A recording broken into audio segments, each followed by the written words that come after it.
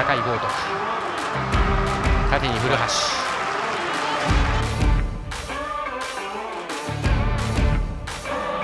高徳ツー入ってきた。酒井切り返す。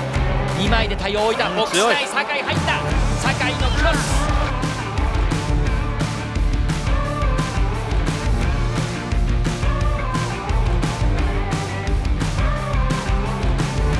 酒井が裏を取る中を見て入れてきた。酒井豪徳ファーサイドドーグラスだ。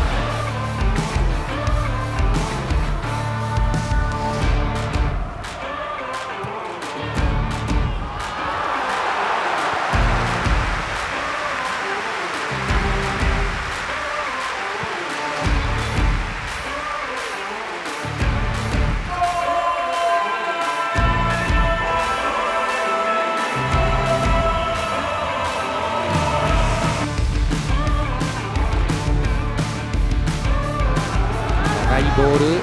酒井が追いつけばチャンスになる。松田が体を預けます。酒井と松田。あーこれは強い。ニアゾーンから中に送り込む。ここは長澤の守備、ね。まあ、あとはここでしっかりと収めること。山田頑張りが必要ですねここは。奪ってからの1本目のパス。ここは逆に神戸粘りましたさすが酒井豪徳というところで。すエウシーニョ。ですね。酒井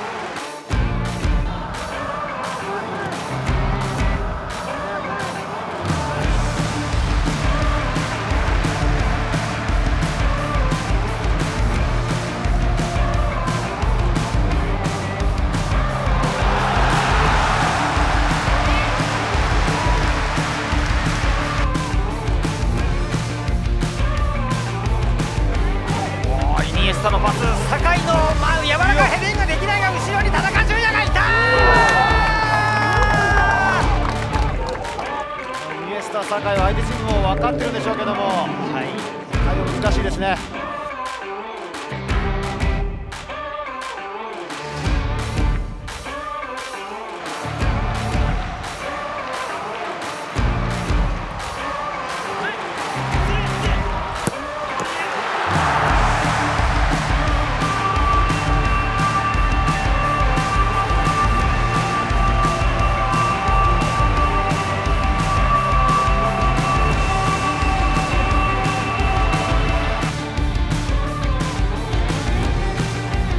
長き出してアベロシュートブロック。最後は酒井ですねブロックは。ジョン・オナリー流れた。クロスバーの上ましたね。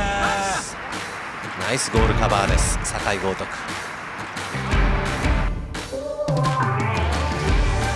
前向いて山口蛍。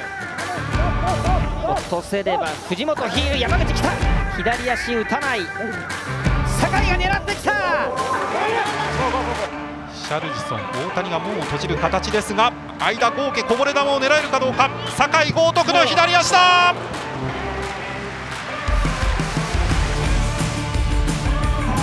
三平半身で古橋中酒井豪徳。ここは狙ってきた。